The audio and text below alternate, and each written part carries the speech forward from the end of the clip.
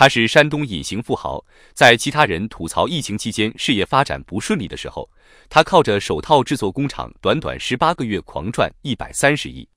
小手套却有大智慧，四十七岁公司才上市的他，又有着哪些鲜为人知的秘密呢？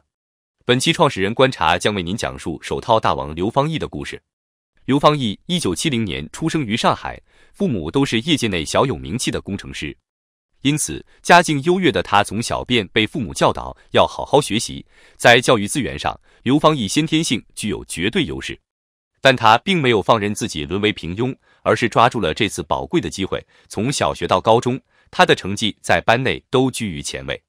刘方义高中毕业后，父母更是借钱将他送到美国留学。为了日后的发展，刘方义选择了电子专业这项未来前景比较光明的行业。而来到美国之后，刘方义才真正知晓了什么叫没钱难倒英雄汉。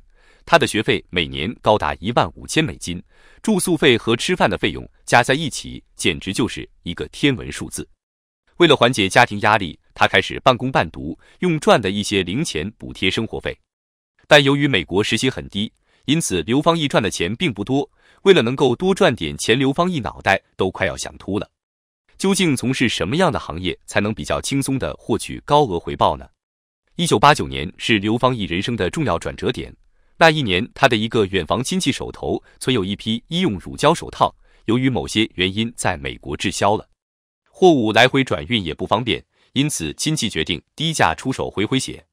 得知消息的刘芳毅欣喜若狂，这突如其来的好消息让他一下子清醒了过来。当年艾滋病肆虐美国人，整日提心吊胆的，像是医用乳胶手套这种医疗用品，简直就是热销品。为了能成功拿下这批货，刘方义东拼西凑借了一些钱，先将货物的首付给付清了。刘方义开始利用空闲时间售卖这些手套。起初他并没有抱太大希望，毕竟自己刚开始做生意，难免会遇到困难和挫折。幸运女神最终还是眷顾了这个爱拼的年轻人，他的货物在市场上简直供不应求。仅一个月的时间，刘方义便狂赚了八千美金。这些钱在之前是刘方义想都不敢想的。这可是将近一年的学费啊！这种经营模式让他嗅到了更深层次的商机。那个夜晚，刘方义坐在美国的街头，心中暗暗下定决心要做乳胶手套的生意。他就算是砸锅卖铁也要干下去。凭借着这一股初生牛犊不怕虎的闯劲，刘方义不顾家人的反对，果断从学校退学。当时的家人希望刘方义先读书，有实力了再去做生意，免得到时候竹篮打水一场空。但刘方毅知道机会不等人，错过了这个千载难逢的好机会，日后想要靠着这个赚钱几乎是不可能的事情了。当初想出国目的就是为了回国之后有好学历，能够找份好工作挣钱，让家里人过上好生活。既然现在有了更好的选择，那么刘方毅便不再拘泥于形式。对他而言，干好当下的生意才是重中之重。一九九三年，刘方毅在美国洛杉矶注册了公司。主要从事乳胶手套销售业务。由于当时美国乳胶手套行业还处于一定的空白期，刘方毅的公司很快变成了整个行业的龙头企业。刘方毅做生意很实诚，这也是不少企业愿意和他合作的最主要原因。掌握了一手货源的刘方毅丝毫不慌，因为不管是医院还是下属诊所、药店，个人都需要找刘方毅进货。乳胶手套一度被炒到了高价。刘方义凭借自己的聪明才干赚的那叫一个盆满钵满，但他并没有停下自己的脚步。他深知这个行业可谓是瞬息变化的，想要立足于不败地位，就要不断的创新。就这样，一九九八年，他带着自己辛苦攒下的三百万美金回到了国内，想在中国创建属于自己的代工工厂。他提供技术支持，对方提供场地和人工。但是这样的经营模式并没有为刘方义带来预期的高收入，生产规模和产品研发几乎处于停滞状态。这种受限于人的生产模式让刘方义下定决心要转变。为此，经过多方考察，二零零五年，刘方义在淄博创建了自己的首家废物处理公司，并取名为英科塑料加工有限公司。为了最大程度的节约成本，保证产品质量。他从韩国引进了废塑料加工技术，投资百万美元，只为用于废旧塑料的处理。用这些处理后的产物制作一些简易的家居用品，例如相框、画框等。深受国外环保理念熏陶的他，对于废物的利用可谓是发挥到极致。先后与多家知名企业达成了合作关系。经过长年累月的发展，每年英科处理的废旧塑料可绕地球两圈。这样的超产值为刘方义带来的不仅是收益，更是知名度。越来越多的厂家开始与他洽谈合作事宜，技术不断更新换代，产能也大幅度提升不少。然而，真正赚钱的除了英科环保之外，还有英科医疗。与英科环保的经营模式完全不同的是，英科医疗是刘方义在有一定资金基础上创立的。对他而言，要做就要做到行业龙头企业。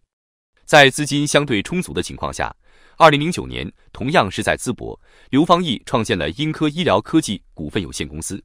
第二年，为了增加产品产能，他又到青州成立了英科医疗制品有限公司，其主要生产的产品就是帮助刘方义发家的乳胶手套。掌握一定生产能力的刘方义开始不断拓展海外市场。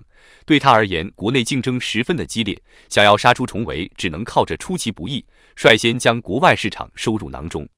他先后在多国创建销售中心，生产和销售规模可谓是与日俱增，很快便成为了行业数一数二的龙头企业。二零一七年，英科的成功上市，让刘方毅后续的战略计划有了保障。此后的他更是将发展放在了第一位，接连创造了不少奇迹。二零二零年是英科发展的黄金时期，那一年全球爆发疫情，乳胶手套的需求量呈现爆发式增长。对于刘方毅而言，这同样也是一种考验，能否正确决策成了重中之重。